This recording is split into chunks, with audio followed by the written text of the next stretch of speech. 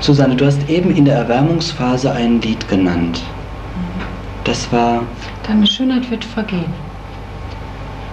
Deine Schönheit wird vergehen.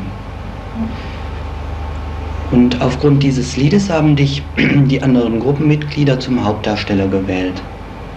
Es muss irgendetwas mit dem Lied verbunden sein, was die anderen angesprochen hat, was du signalisiert hast.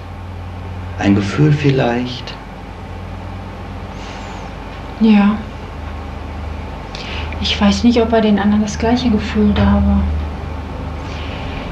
Bei mir ist das vorherrschende Gefühl eine große, alles umfassende Traurigkeit bei diesem Lied. Es ist möglich, dass die anderen das auch so empfunden haben.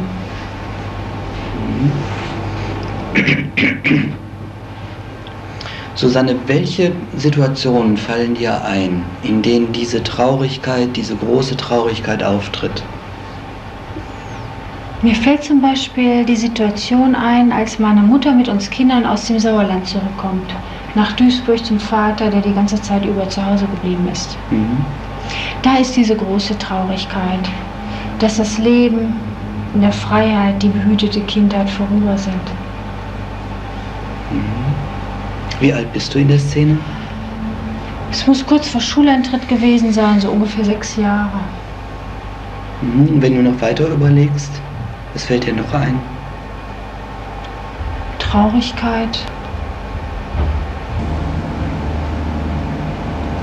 Ich denke etwas weiter zurück, als wir ins Sauerland gefahren sind, meine Mutter mit uns Kindern, uns Vieren. Und wir mehrere Tage gereist sind auf einem Lastwagen, auf einem Treck. Da waren sehr viele Leute da. Die hatten Gepäck dabei. An ein paar Fässer erinnere ich mich noch schwach. Ich saß eingeklemmt auf dem Lastwagen, um mich herum Fässer. Meine Beine waren angeklemmt und ich fühlte mich sehr hilflos. Abends spät haben wir dann irgendwie übernachtet. Und meine Mutter hat mich in dem Lastwagen in einem weichen Oberbett verpackt. Es war warm, geborgen, aber es war dunkel und da war die Straßenlaterne. Ich fühlte mich sehr traurig da. Das war das gleiche Gefühl, das ich bei dem Lied gehabt habe.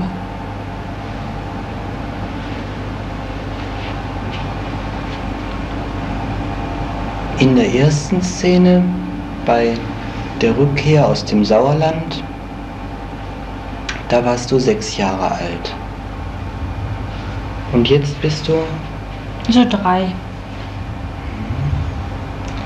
Und wenn du vielleicht noch etwas weiter zurückgehst, Zwei Jahre.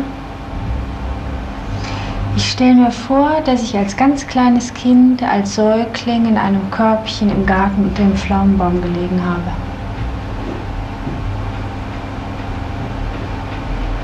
Ich habe in die Blätter geguckt, bei Sonnenschein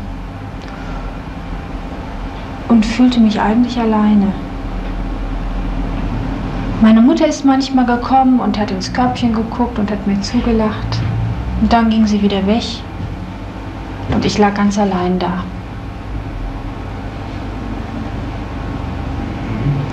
Susanne, meinst du, dass wir diese letzte Szene spielen können? Ja. Wo du als kleines Kind im Körbchen liegst, deine Mutter kommt. Ja. Mhm.